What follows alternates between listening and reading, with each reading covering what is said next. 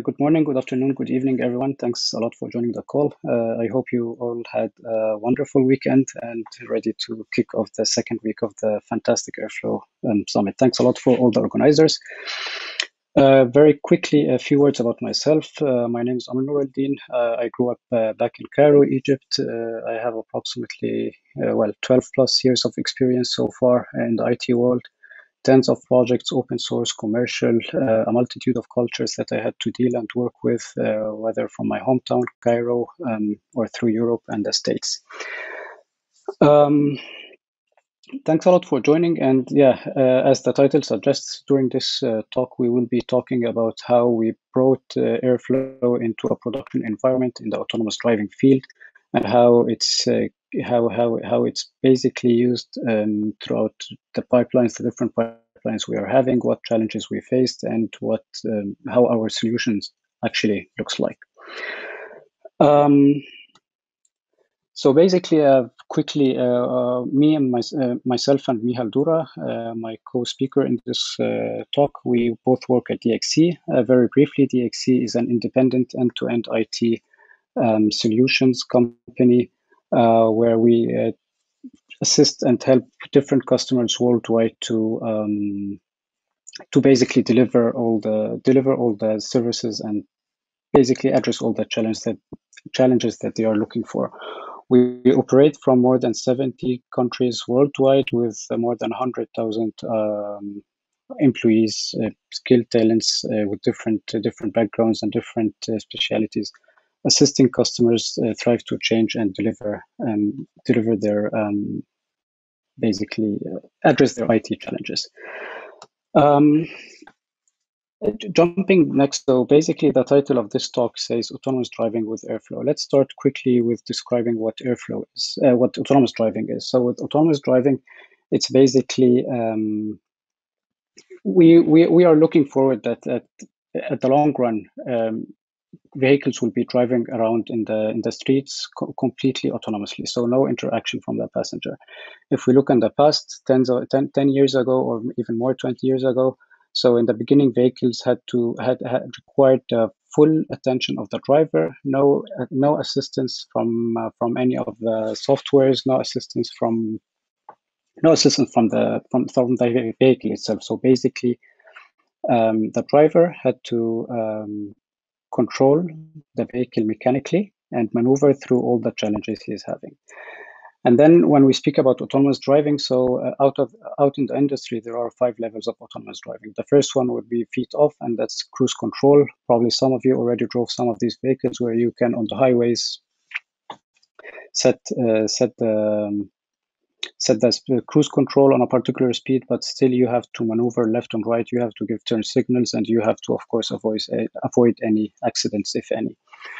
Um, second level is basically partially automated, where maybe uh, we can say assisted parking, where you can like find a parking slot uh, spot, and then um, as soon as you begin to park, the car gives you the option: Would you like me to park the car for you? And that's when, if you say yes, then you can just pull your hand, hands and legs uh, away, and the car would automatically um, park itself. Level three is basically eyes off. So uh, the car would drive in the streets. It would uh, speed up. It would slow down when necessary. It would turn left and right, but that might be only limited uh, to the highways, not yet in the city. Uh, level four would be much more automated, so you can basically fully relax back, uh, watch the car as it's moving around left and right, and so on, exactly as if you are uh, on a roller coaster where you have absolutely no, uh, your, your input is actually not considered for the car. And level five for the autonomous driving vehicles would basically be cars that are out there driving alone. Um, no passenger even is sitting there, no driver is sitting there, fully automated. So autonomous driving is is an is an is a very interesting field. Uh, we already probably know um, a couple of car makers out there who are um, who are uh, producing vehicles.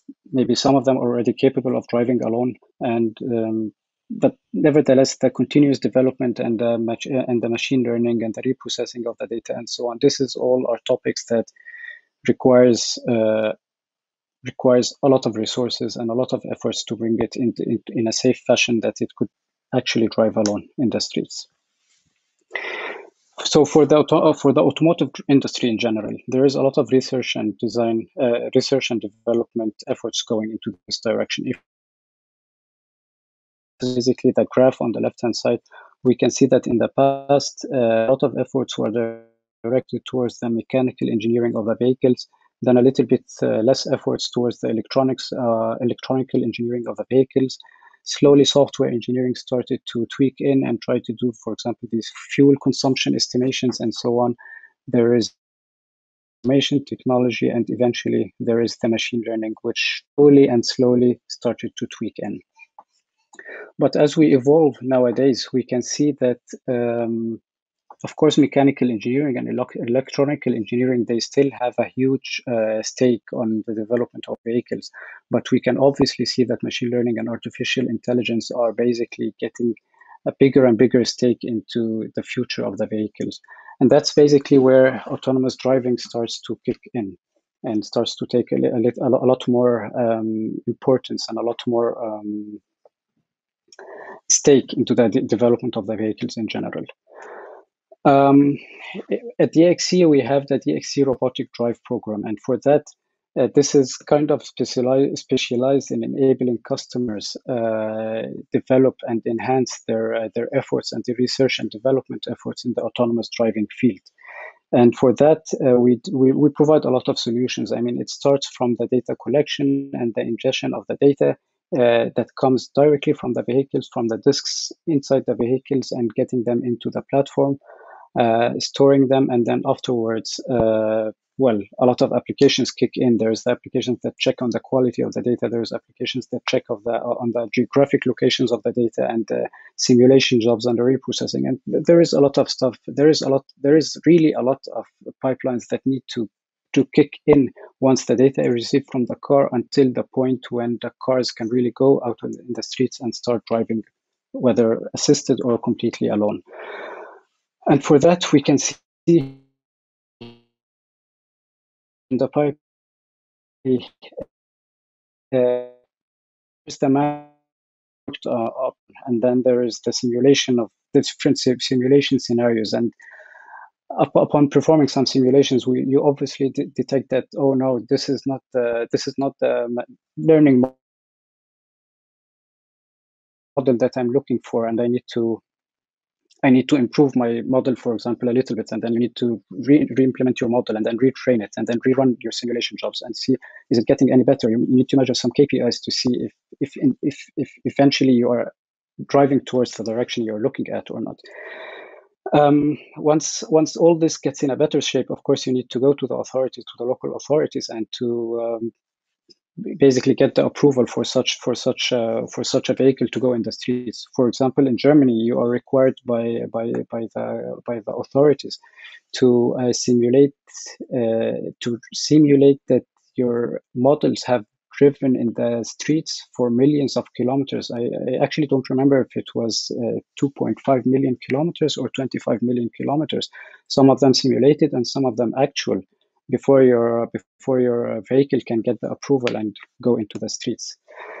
And for that, uh, we at Robotic Drive at DXC, we work with a multiple of automotive uh, customers in Germany and also worldwide, where we deliver the platform which is used for the simulations of for the computation, for the data storage, and all that stuff, uh, to make sure that the customer basically doesn't really have to worry about the platform anymore, doesn't have to worry about um, all the internals and the infrastructure stuff, but they have to basically concentrate on the machine learning stuff, on the, the modeling, on the data ingestion, onto the cleaning of the data and all that stuff. So for one of our use cases, we actually have built up a, a high performance data driven platform. This is this was one of the this was actually one of the best projects I ever worked on. So in that in that platform, we actually built a platform from scratch, bottom up in three months, where we have uh, 100,000 cores. Uh, we need to store more than 200 petabytes of data. We need to be able and be capable of processing uh, multiple petabytes of data per day. Um, and all that stuff doesn't go um, doesn't just happen very easily. So we first had to build a platform and we need to provide some of the services that runs on the platform that would assist our customer to, to deliver such value. The technology stack of our um, and with the multiple technologies that the customer would be looking for and would be helpful for the customer to deliver what they need. And basically, this brings us to the meat of this presentation, Airflow, uh, how we use Airflow in autonomous driving. Um, Airflow is currently, I mean, everyone probably knows here that Airflow is an orchestration engine, and here we use it to um, to orchestrate all these different pipelines and all these jobs running on that platform on these at, at, at such a large scale that eventually the result of these uh, Airflow uh, jobs is basically the reprocessing and the simulation and the ingestion of petabytes of data every day. We have uh, such a, we have we, we have a setup that started a year and a half ago. Uh, it emerged a lot since we started until we reached the stage at, at which we are at, at today. Uh, we have Airflow deployed on top of OpenShift Kubernetes. Uh, obviously, we have one scheduler instance running at the time. We see this as a big risk for obvious reasons. We have multiple web servers running in parallel, load balanced, accepting REST API calls uh, to to to, manu- to basically manipulate the different DAGs we are having. And we have numerous workers uh, distributed over multiple queues, each of them dedicated for a separate um, separate stack of jobs. Um, I, again, in a nutshell, so we have uh, our deployment of Airflow is based on Helm charts. Uh, it's it's we see we, we implemented it in such a way that it's highly customizable. So we store different configurations of different Airflow instances uh, in, in, in, configuration files. So we are actually running multiple instances of Airflow concurrently. And uh, obviously we use uh, um, version control and Git repository for history tracking to see how our, um, basically this helps us track our changes, our deployment changes, and how this affects the overall performance of Airflow. These Helm charts also allow us to deliver on-demand Airflow instances, which uh, maybe some can spin up and purposes config test some configuration parameters and see if this brings better or worse performance for Airflow. Um, Next would be, I mean, with such a huge platform, we needed, we had to integrate Airflow with uh, the data and storage platform, which is in our particular case based on MapR. Uh, basically, the end users would need to run some Spark jobs, some uh, ingestion jobs uh, from Airflow. This needs to be orchestrated via Airflow. We read our DAGs from the MapR file system. This allows the end users who have uh, access rights to deploy their DAGs directly there, and they are automatically picked up by Airflow and we load some job configurations uh, for the different operators. For example, for the Spark submit operator, Kubernetes operator, Kubernetes pod op from the MapR file system. Uh, we also integrate with our compute platform, which, as I mentioned, is based on OpenShift. So uh, we have Airflow deployed on OpenShift, and we also have jobs from the customer running on OpenShift. Uh, and here we rely mainly on the Kubernetes pod operator. We, we, we still see some performance issues there, but we are trying to address this together with the community to, to uh, user experience uh, with, with Airflow in general. Um, then last but not least, uh, we also built our Airflow with some metrics collection and monitoring. So we use the statsd exported metrics from Airflow. Uh, we pull them into Prometheus, and out of that, we can build some um, nice dashboards, which basically allow us to continuously monitor uh, uh 24/7, see what if if, if components require any additional re resources, if there is some components that are not acting as expected. Um, yeah, and with monitoring always comes the log collection and aggregation. So we use Elasticsearch and Kibana for that. It's quite a complex, complex setup. In general, what we are aiming at at the long term is a large scale orchestration. So we are aiming at orchestration jobs at the scale of 100,000 DAGs uh, a month. Uh, these jobs uh, would include ingestion, simulation, reprocessing, machine learning, and the cycle keeps on going and going and going until eventually the cars would hit the streets, hopefully next year. Um, I think that would bring the introduction part to an end, and I would like to hand over to Michal for an introduction and to carry on from there. Thank you. Hi, welcome everyone. So uh, my name is uh, Dura. I'm working at DXC as a big data developer, and since uh, last year, I'm also involved in the Apache Airflow um, work related to Apache Airflow.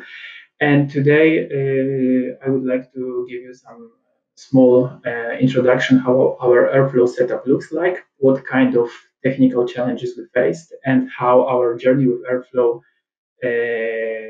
basically uh, look like and why we implemented it in a way that that we are using it right now. So, okay.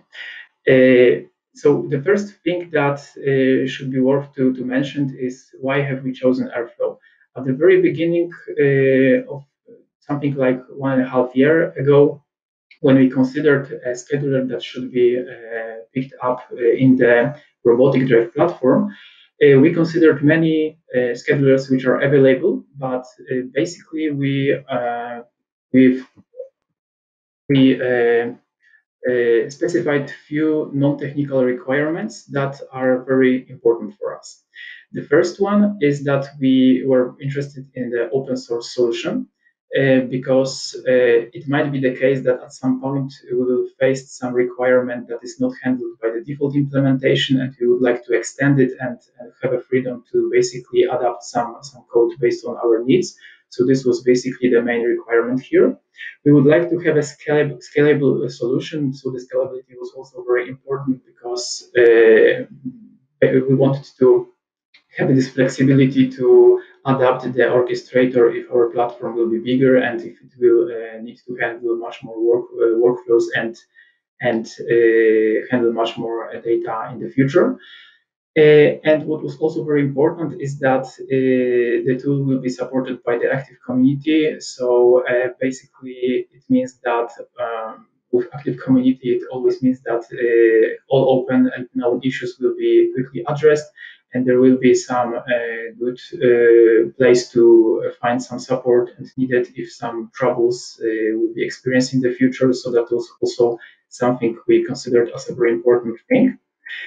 And uh, right now, looking uh, from the from the little bit different way, uh, we should answer a question: What do we want to orchestrate? So, looking at the data perspective, as Amr mentioned previously, there are a number of scenarios that needs to be considered when talking about autonomous driving. So at the end, it's, it's always leading us to the data and actually some jobs which will process this data. But in autonomous driving area, we can divide four main steps. So the first one is data ingestion, because when the new feature is being developed, it's always well tested in the cars. So when the cars is used to test some new feature, the data is being collected. It needs to be uh, later loaded to the uh, to the platform and pre-processed. So of course we need to orchestrate this job somehow. So this is the first step, the data ingestion. The next one is machine learning. So uh, this is of course something uh, most probably the most interesting part uh, part here. So this is also let's say separate type of jobs that we need to orchestrate. We have also uh, jobs called reprocessing and simulation. So for simulation, it's not always the case that the cars needs to actually drive because not all scenarios are possible to, let's say, uh, to, to, to prepare them on the road. Some, some, some scenarios needs to be uh, needs to be simulated. And the reprocessing, it means that using the data we already collected, we are able to uh, use the, the, approach called hardware in a loop and software in a loop to actually check how particular hardware or software devices in the uh, in the car behaves when the uh, some input data will be will be will be uh, provided to them. So looking at these types of jobs, we can easily distinguish that for sure we will need some or, orchestrator tool that is giving us a possibility to submit Spark jobs because majority of our data ingestion is, is done in, in the Spark jobs. Uh, we also uh, knew that part of the deployment of the development work will be actually covered by Python applications. So it was also important to have a tool, uh, the orchestrator that will work well with Python applications. And last but not least, a great part of our uh, robotic drive platform is a Kubernetes cluster, more specifically the OpenShift, And uh, basically, the, the, the, big part is also containerized and uh, put, uh, started on the on the Kubernetes cluster. So also integration with Kubernetes was very important for us. Considering all these fields, we uh, and, and uh, taking into consideration that Airflow has a lot of operators and also a possibility to create specific operators when such requirement will be needed, we have chosen Airflow also because of scalability and, and active community, like, like I've mentioned, all these points which were listed in the previous slides were, were well covered here. And right now I will just show you quickly how, how our journey from POC to production looked like, because uh, basically it was not very, not very simple and straightforward. We learned a lot since last year. And right now we just wanted to, to, to share this uh, share this knowledge a little bit with you. So our initial work with Airflow started somewhere in between first and second quarter of 2019. Uh, we have chosen the, the newest uh, available uh, version at this point in time, so Airflow 1.10.2. And looking at the available executors, we have chosen a Celery executor as the one we would like to use. Uh, for the backend, both for the Celery backend as, uh, as well as Airflow backend, we have chosen PostgreSQL and the RabbitMQ, which acted as a message broker. So when we finally configure it in a way that each of these components were able to communicate with each other and everything was was uh, was uh, running uh, fine without any problems. Uh, of course, like like it was mentioned before, uh, we have deployed it as an OpenShift project, so on top of the of the OpenShift cluster. Uh, when we have started it, we thought that okay, we can trigger some simple tasks, but how it will behave under heavy load. And the heavy load is also some relative, uh, let's say, statement because for one heavy load means 100 tasks and for other means few thousands of tasks. So at the very first stage, we have noticed that when we try to trigger more than 100 jobs, we are actually experiencing some first problem. And the first bottleneck was, of course, the database connection. So there is uh, right now it's it's quite obvious, but uh, when we started our journey with Airflow, it was it was uh, more like a, let's say black box. Uh, and uh, the relation with, between the number of tasks running on Airflow and number of open database connections is directly proportional. So uh, our first bottleneck was very limited number of um, maximum allowed connections on the open on the database level on Postgres. So here we, we solved it by introducing the PgBouncer, so it acts very well. And later, after we have adapted also the Airflow configuration file and uh, tuned a little bit the scheduler uh, parameters, etc., we are able to achieve uh, something uh, close to 1,000 tasks running uh, in parallel at the same time on the cluster with no uh, with no problems. that was enough at something like a year ago. Right now, we are working actively on scaling up Airflow even more. and that was that was basically how the how our beginnings of Airflow look like. And as I've mentioned at the, at the, at the previous uh, slide, uh, at the beginning, we considered Airflow as a black box. So something that needs, of course, some other components to make sure that it's up and running.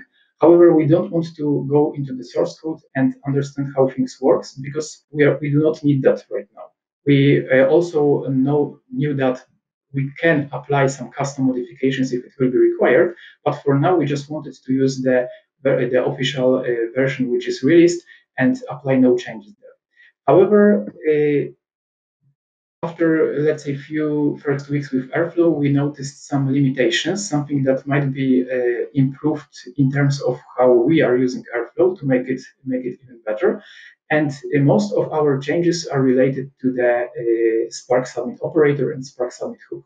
So the first change, this is basically something really small. It, it's just a few lines of code, but I wanted to say about it because for us it was a breaking change because here we actually forked Airflow repository, made some change, uh, built the Docker image from our uh, from our uh, source code, and that was a starting point when we considered each new change in the Airflow source code as something not as you know far away and something that we can we can possibly possibly do with, uh, without any, any problems. So uh, the first thing was related to the properties file uh, parameter in the operator constructor. So we basically each each Spark submit job on the cluster uh, we provided uh, the configuration using the properties file, And this is something that was by default not supported in, in Airflow, but we, we have added it and basically we were able to uh, use the same Spark submit command as on the as on the jobs for the cluster with no special uh, let's say adaptation required.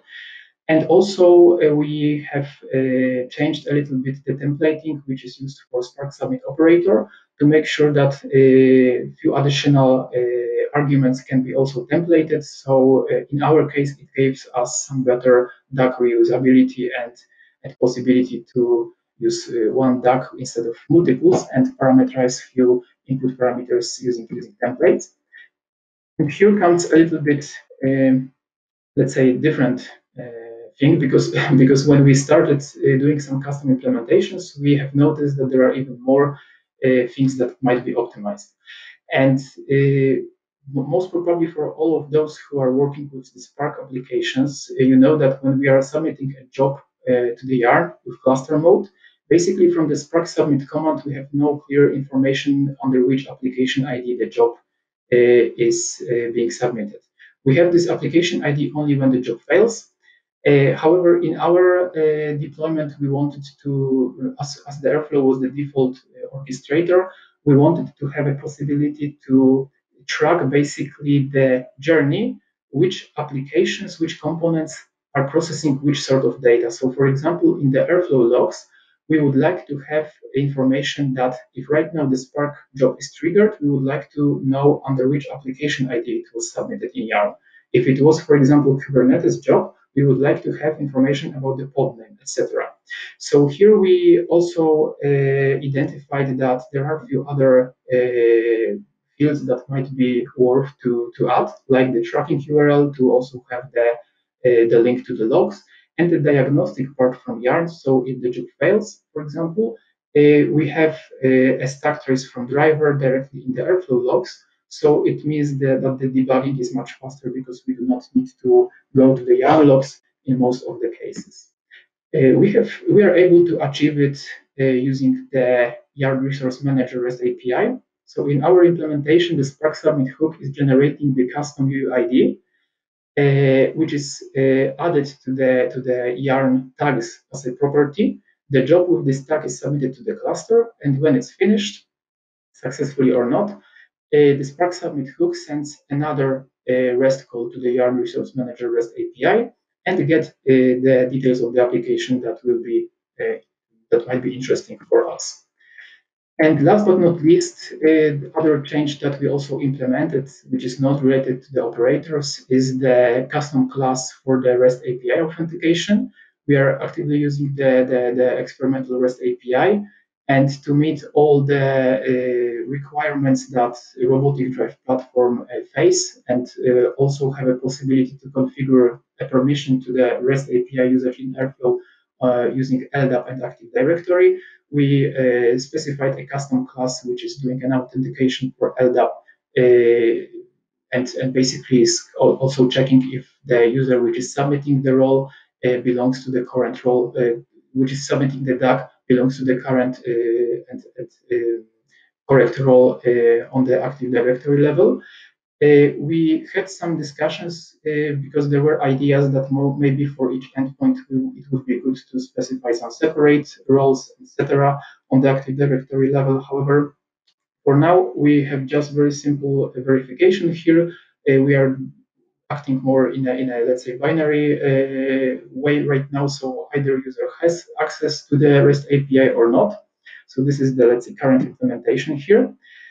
And uh, using all these let's say custom features we have prepared and collecting all let's say experience we we we uh, we got during last uh, year uh, because what I'm sharing right now is just uh, just a nutshell. If you would like to go through the entire journey, I think that the, the session should take much more time. However, uh, we finally achieved uh, the state where we have uh, a production-ready Airflow instance. So on Robotic Drive platform, we have three Airflow instances: the development, staging, and production. So the development is the instance where we are mostly testing new, new features related to the Airflow deployment, to uh, new versions of Airflow when they are released, or some custom implementation we need to make. The staging is the, let's say, stable environment where when users can test the DAGs. So from the Airflow deployment point of view, from the Airflow setup, it should be considered as a stable environment. And production uh, more or less contains exactly the same, uh, let's say, version as staging, but scaled in a larger uh, way. So, for example, in production, we have much, much, much better uh, version in terms of the number of workers, resources, etc., to make sure that uh, we can uh, we can run more jobs on the production cluster. And the current stable setup, which we are using, we have the Airflow 1.10 and the Celery executor. This is what fits the best for us for now. And uh, one additional thing is that we basically wanted to also uh, we noticed that users has a lot of have a lot of problems with, uh, for example, testing the DAGs in parallel because we have just three instances. So which which one is production? So only two instances where they can test it. And for example, two or three users are doing some uh, changes in the same DAG, which are somehow inter interfering each other, it means that uh, they are basically blocking each other during the implementation phase.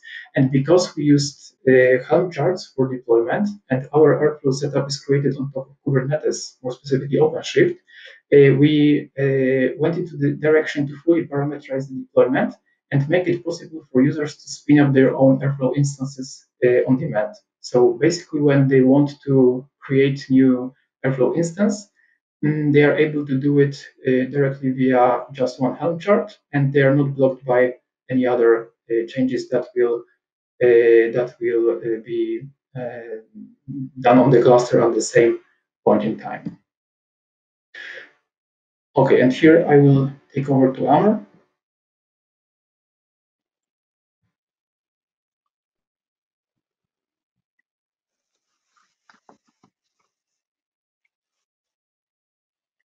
Yes, I am. Okay, so um, just a few more slides before we open the room for questions and answers. Uh, we wanted to shed some light on the monitoring of Airflow. Um, so we have already implemented some dashboards in Grafana based on the metrics collected, whether from StatsD uh, on Airflow or from um, Kubernetes, where we monitor continuously monitor the resource utilization and usage of uh, scheduler of the different Airflow components in general. Uh, here, here I'm just displaying a screenshot of the scheduler and web server component. And we, we've been doing some tests over the last few days, and we can clearly see uh, how um, how much memory and how much CPU usage is is required by the scheduler and web server. And this actually helps us a lot to further stabilize and uh, fine tune Airflow in general. Uh, here is also another quick monitoring dashboard uh, where we are looking closely into PgBouncer uh, and Postgres as well, uh, just to see again uh, how many active connections there are between uh, Airflow and the database and how much resources are needed here. Um, this is also a third dashboard that I wanted to shed some light and that's about the DAG processing runtime. And this is a parameter that we learned of uh, by complete coincidence when we had some performance issues and bottlenecks in Airflow. And uh, thank, thanks to the Airflow community on Slack, um, I think it was Kamil, if I recall correctly, he pointed us to the DAG processing runtime, and that's basically the process that is uh, running for each DAG and checking how, I mean, basically processing processing uh, processing the different DAG runs of a particular DAG. And this is very crucial because as soon as this times out, then the process times out and it has some impact and it, one can start noticing that either his DAGs has some delays or even they start, they stop uh, operating at all. Um, I didn't see a lot of uh, literature around this uh, on the on the internet, but um, I thought it would be a good chance to raise awareness for the different uh, users out there. Um, now, uh, since we are almost out of time, uh, what's next? What we are looking forward to based on our experiences, uh, we see that, uh, I mean, the very most thing we are looking forward for in Airflow 2.0 is the highly available scheduler and the performance optimizations. We're actually already having some bottlenecks, bottleneck performance issues with Airflow 1.10. And uh, we are in the process of heavily testing Airflow 2.0 to see if, if it indeed addresses our, our issues or if it requires further fine tuning there. Um, based on our, our, experiences with the different customers we are working with, uh, uh, advanced authentication and authorization is needed because it's not that the customer just wants to block everyone out and let themselves in, but actually different teams within uh, the end users should have different access rights. Uh, we believe in monitoring a lot and it helps us a lot with the fine tuning and optimization of Airflow. So we believe there are still actually some room for extending and stabilizing some of the monitoring metrics. And this is something we would actually try to contribute to uh, to the open source community. And last but not least, this is something also we are expecting from Airflow 2.0 is a stable API versus the currently deployed and shipped experimental API. Um, I sincerely apologize, apologize for the bad voice quality, at least for the first half of the presentation, but this brings us to the end and uh, we would like to open the door for some questions and hopefully answers from our side. Thank you.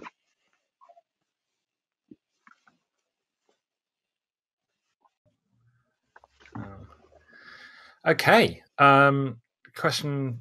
Uh, so, um, Amr, in your opening segment, you mentioned Azure um, but then you mentioned OpenShift. Um, how does Azure come into play? Sorry, how does what come into play? Uh, Azure, which you mentioned, you know, Microsoft Azure. Oh yeah, okay, yeah. So basically, um, um, in our particular case, at least at the, the use case we were discussing today, the customer has a cluster that is built uh, on premise. It's not connected to the internet, so that's why we had to depend on the, our different our own tools and our different um, services and platform uh, applications that are already installed. Nevertheless, we believe that because of the highly customizable Helm charts that we have built on, um, that basically deploying on Azure should something should be something straightforward to achieve. We didn't did not try this ourselves in the past, but we believe it's it shouldn't be that uh, that much of a blocker for us. Gotcha. Great. That makes sense. Thank you. Um, question. Um, are you able to submit your customizations to the hooks and operators back upstream to, to Airflow? Yes, so uh, basically we were internally discussing this possibility. Uh, the, the thing which uh, we see, um, maybe not a problem, but something we need to align is that partially the uh, modifications uh, around the operators and hooks were done specifically for a, for a, a customer. And we need to align with them if, uh, if we are able, if we are basically allowed to share the source code with the community. And the other thing is that it was done um, for the, let's say, um, for our deployment where we used MapR. So for sure we would need to test it with other uh, Hadoop distributions just to make sure that uh, it's basically something that everyone can reuse. But this is, this is something we are working on, and yeah, it will have a green light from the customer. Of course, we will we, we are keen to contribute. Great, look forward to them if you can get them. Hopefully, um, uh, is PgBouncer necessary? Um, kind of, I guess, did you did you experience connection problems with Postgres? Yes, so uh, Michal has already discussed this. So at some point, as we started stress testing our Airflow deployment, which was connected directly towards Postgres, uh, we very quickly reached the connection limits of Postgres. Of course, there is the option of increasing the connection limits on the Postgres side, but uh, there is there is always a limit, and we cannot just go high, uh, high enough for Airflow. I mean, uh, we were talking about. Uh, I think, if I recall correctly, that's something we had last year basically each running task had, for some reason, two open connections towards the database, at least in the earlier versions of Airflow. And this made us very quickly hit the limits there. And that's what that's why we actually encourage using PgBouncer in case we expect high high number of concurrent tasks and jobs running. Yeah, uh, I guess to, to, follow up on that, I, have seen I've seen three or four connections per worker process as well, so it's definitely kind of very quickly can exhaust them. Um, Okay, great. Let me just check if we have any more questions. Um, no, that's it. Um, thank you very much, everyone. Um, enjoy your break, and uh, we will be back in a little over 15 minutes for the next session. Thank you very much, everyone. Thanks, everyone. Have a nice day.